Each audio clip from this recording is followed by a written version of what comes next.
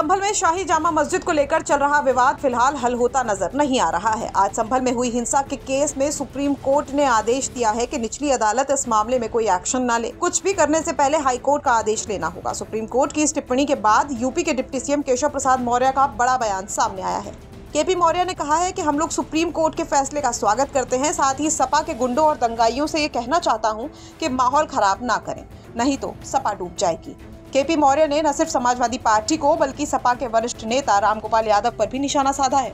न्यायालय के आदेश का सरकार सदा से पालन करती है। समाजवादी पार्टी लगातार माननीय न्यायालय के आदेशों का उल्लंघन करने वाला कार्य करती है।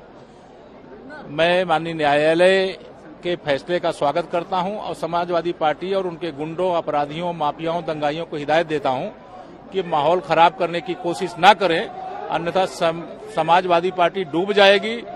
खोजेंगे दूरबीन लेकर के भी तो पता नहीं चलेगा। प्रोफेसर रामगोपाल लेकिन अभी भी उनके बयान आए हैं और सरकार और पुलिस उनके जहरीले भाषण मैंने कहा कि समाजवादी पार्टी को समाप्तवादी पार्टी बनाएँगे और ये परिवार डेवलपमेंट एजेंसी के जो निदेशक श्री अखिलेश यादव जी हैं उनको अगर उपचुनाव में समझ में नहीं आया तो 27 में उनको ज़रूर समझ में जनता आए ऐसी भाषा में समझाएगी। धन्यवाद। बता दें कि संबल हिंसा पर सुप्रीम कोर्ट ने अहम निर्देश देते हुए निचली अदालत से जामा मस्जिद मामले पर सुनवाई न करने को कहा है। साथ ही सुप्रीम कोर्ट ने प्रशासन को कानून व्यवस्था दुरुस्त करने की भी हिदायत दी है। इसके अलावा सुप्रीम कोर्ट ने याचिकाकर्ता को हाईकोर्ट जाने को कहा है। अब हाईकोर्ट के निर्देश पर ही कार्रवाई हो सकेगी।